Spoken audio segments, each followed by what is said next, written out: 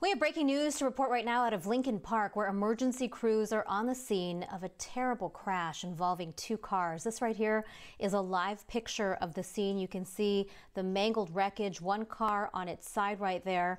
This happened around 920 on Imperial Avenue at Escuela Street near the 805 on ramp. Crews arrived to find two people trapped in each car. At least one person has been taken to the hospital, but again, this wreckage looks uh, like there was a very violent crash. Severity of the injuries not known at this point. No other details about the crash. It happened just about an hour ago. We will continue to follow the story.